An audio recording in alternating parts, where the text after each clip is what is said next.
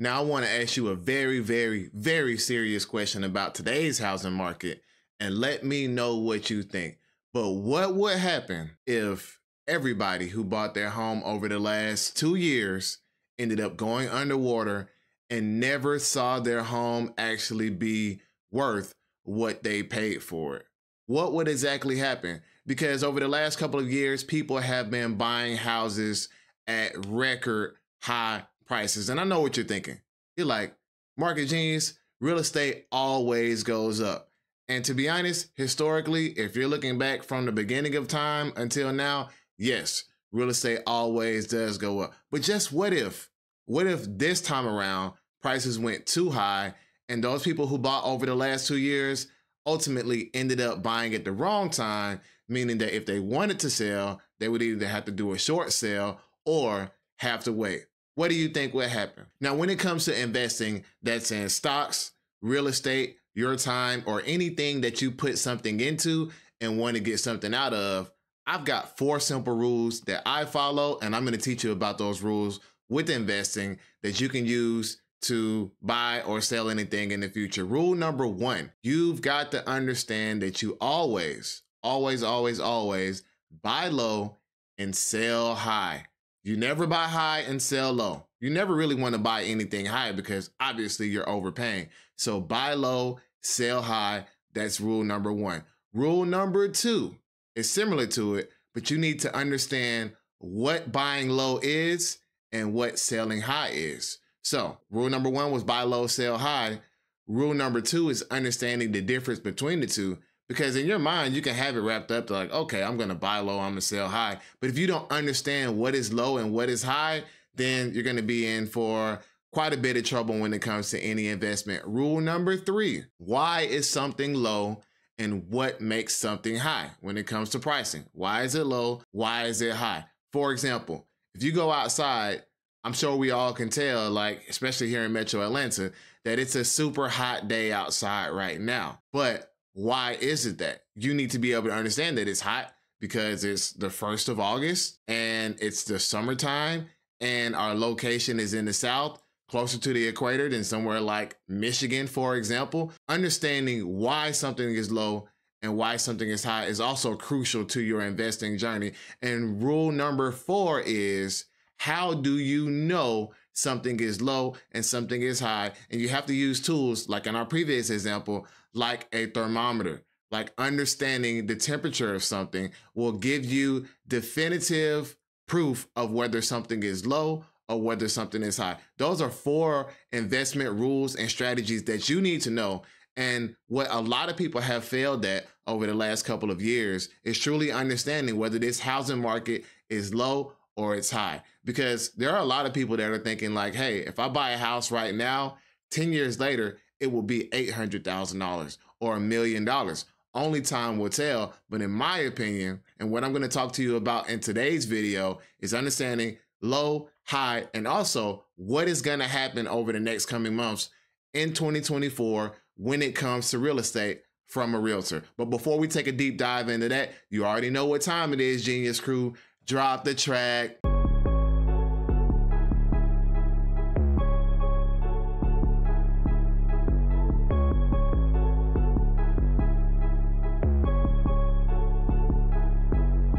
Welcome back. This is Market Jenius. You already know what time it is. We're going to dive deep into this real estate market. Our price is going to continue to go up. Are they going to come down? And what's going to happen when rates do come down or if they do come down, right? It's anybody's guess. But be sure to like, share, subscribe, get this video out to as many people as possible because at the end of the day, there are so many professionals in my respective industry that always just say, buy, buy, buy, buy, buy. And at the end of the day, that may not be right for you. So we're to talk about when exactly you should buy based off of understanding what is low and what is high. So let's go ahead and jump into some market statistics so you understand where we are today and where we're trending towards. And of course, to do that, we're going to jump into the Georgia MLS statistics so we can talk about exactly what's going on in Metro Atlanta. So as you see here, we have a huge change in the amount of homes that are being sold compared to last year, almost a 15% decrease. Remember, we always talk about real estate is based off of supply and demand, supply and demand. So we see that demand has dropped significantly. Most of this is because of rates, but you know, like I tell all of my clients when they're selling their houses, that a lot of people just don't have the money to be able to afford the price you're asking or the monthly payment that it's going to take to maintain that house or to be able to keep it over the course of, you know, uh, 30 years or however long they're going to be staying. Another thing I want to point out to you is residential inventory. So, residential inventory has grown 60%. So, use your thinking caps, Genius Crew. If inventory has grown 60%, but residential units sold has dropped 15%, then what do you think is actually going to happen next? Of course, pricing has to follow, right? This is just simple economics, simple rules of the market. More supply, less demand, prices have to end up meeting in the middle.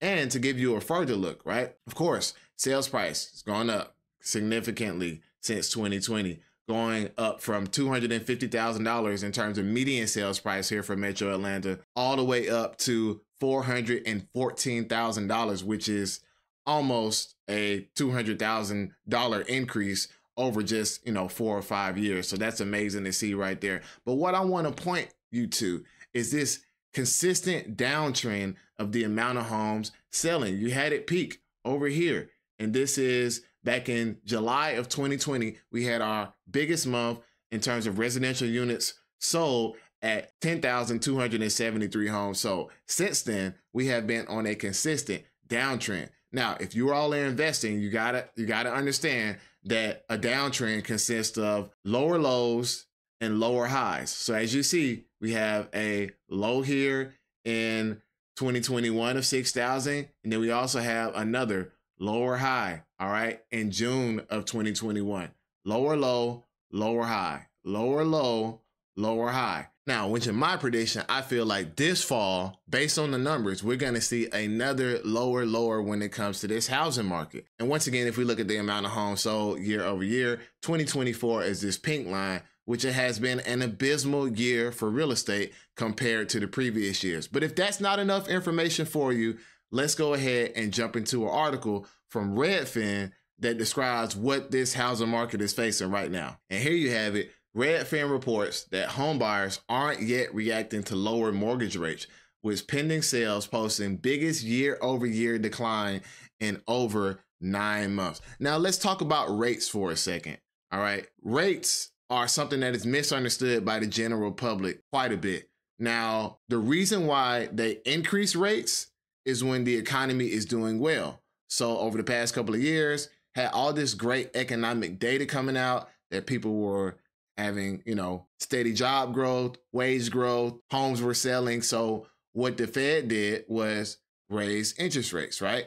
Now, what we're seeing right now, and I don't know if you watch the Federal Reserve chairman speak yesterday, but what we're seeing right now is that the economy isn't really doing so well. I'm sure a lot of you all can feel it consumers have pulled back on a lot of spending. As you see here, the amount of homes being sold has also decreased significantly. And so what they're going to do is drop rates. Now, there's been a misconception going around in the real estate industry that when rates drop, that people are going to start buying again. That may be true for some people, but for the majority of America and the majority of home buyers that are on the sidelines, rates dropping won't mean that people will immediately start buying again. What it will mean is that some people have lost jobs. Some people have just reached the point to where they can't spend anymore with like credit card debt being at all time highs. So rates dropping doesn't always mean that people are going to pick up and start buying again. It actually means that the economy is not doing well and that they have to drop rates to kind of entice people to get into the market. But what I'm predicting to happen with this real estate market is that even when rates drop, there's still going to be a lagging effect to when people start actually buying real estate again. And so if you're sitting on the sidelines trying to figure out, well, Mark, when is it actually a good time to buy real estate? Remember, I talked about the four investment rules that I keep and that I think you should adopt too when it comes to buying low and selling high. I think that the perfect time to buy real estate is when mortgage rates go as low as they're going to go. Here's the reason why. If you're buying real estate or if you're buying any investment, right, you want to get in before demand increases. Now, while rates are dropping, you are still going to see demand decreasing. Why is that? Because when rates are dropping, more people are going to put their homes on the market. And remember, it's a supply and demand thing. Don't believe the hype of, you know, there are so many people without starter homes that, you know, uh, when we get more inventory, people are just going to start buying like crazy. That's not true. People are going to buy when the economic conditions allow them to. And because they're dropping rates, we're seeing that economic conditions are not good for a lot of organizations, a lot of people uh, just here in the United States. So, me personally, now I don't know what you want to do. I mean, it's totally up to you, but I provide proof for anything that I tell any of my clients to do or any of you on this channel. So, me personally, I will not buy any more real estate until rates go oversold. Now, if you don't understand what oversold means, I definitely encourage you to go take my free stock course, A to Z, everything that you need to know about trading. It is free on this channel. So you can go ahead and take the Freedom Through Trading course. You will learn about all of these indicators, understand trading and investing a lot more. But me personally, I'm not looking to buy real estate until this zone right here. All right. This zone right here, when mortgage rates, which are at an average of 6.78, when they go oversold, which oversold essentially means that they are extremely cheap and it's a good time to be able to buy real estate at that point. So the last time that they were oversold goes from a period of around May 2020 to about February of 2021. Now, anybody who bought a house in that range is up a couple hundred thousand dollars worth of equity right now. So you got to ask yourself, would you rather buy at that point or would you rather buy now and then the market has to cycle back down to it being oversold and then hopefully you'll be able to gain some equity then. Comment below, let me know what you think. But for those people who don't understand buying low versus buying high, that bought homes in March of 2022 when mortgage interest rates were overbought, which means they're extremely expensive. I mean, you may have some equity, but at the same time, not only do you have a high mortgage that you're paying on a monthly basis, you may not even be able to get out of that house because you still got to pay a realtor. You still have uh, other closing costs that you might have to pay as well. So, my point is this when you take a look at what's going on in real estate right now, my predictions for the future are very simple. One, we are going to have a ton of supply continue to come online, right? The builders, which are always late to the party, they're still building a ton of houses. The people who have been locked in, like the lock in effect, they've been waiting on lower rates to put their house on the market. And when rates go slightly lower from where they are now, they're going to say, okay, let's go ahead and put our house on the market, adding to the glut of inventory. And three, because of the place where we are right now in terms of economic conditions and the fact that the Fed will eventually be dropping rates because of the poor or not favorable economic conditions, you're going to see prices come down in the short term. I'm not saying that real estate is going to crash. I'm not saying that 15 years later from now, real estate won't be more expensive. But what I am saying is that over the short term, there are going to be deals to be had because prices are going to soften over the next coming months, especially this fall. So if you're looking to buy a house, you should definitely get ready because this fall you're going to see some outstanding deals because of the amount of supply that you're going to find in your local market compared to the demand and also compared to the previous years of what we've been seeing. So this is just another video to help you all understand buying low, selling high, how to make money, how to make thousands of dollars, hundreds of thousands of dollars off your next real estate purchase. If you like this video, make sure you comment below, hit the like button, and of course share so some of your friends, family members, coworkers, or etc. can be able to learn this great information that we and you more specifically have learned today. I'm the market Jenius. Another deal closed. Peace.